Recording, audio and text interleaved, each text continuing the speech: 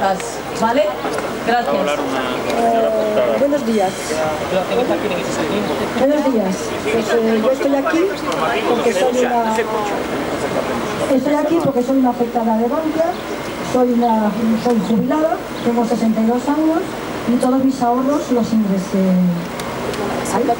Los ingresé ahí y me he dado cuenta de que me siento engañada. No encuentro en ese momento una palabra en el diccionario que defina mi estado de, de hartazgo de, todo lo que nos rodea. Y estoy de acuerdo con los compañeros que me han precedido en, en esta comparecencia que lo que quiero es un mundo mejor para, para mí, para mis nietos, para las generaciones venideras y tal como lo estamos haciendo vamos mal, vamos muy mal.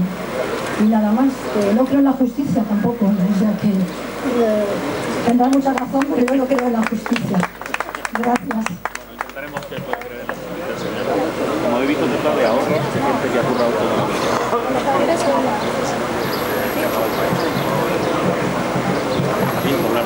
Hola, buenos días. Eh, bueno, yo soy accionista de Bankia también. Estoy aquí pues básicamente porque, bueno, en su momento me, bueno, me siento estafado. Eh, en su momento, bueno, mi gestor me ofreció la posibilidad de adquirir acciones de Bankia.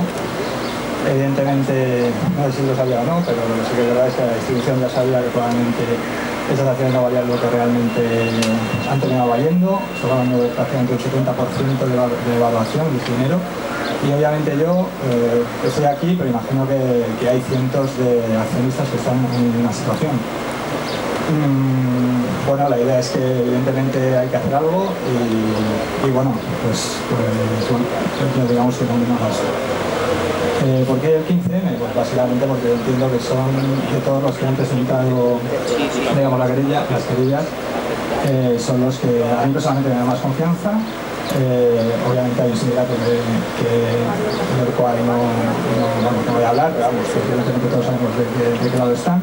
Y por otro lado, pues los partidos políticos tampoco me da la confianza que, obviamente yo necesito para esto. Así que, nada, por eso mismo estoy con ellos. Y nada más, muchas gracias por estar aquí.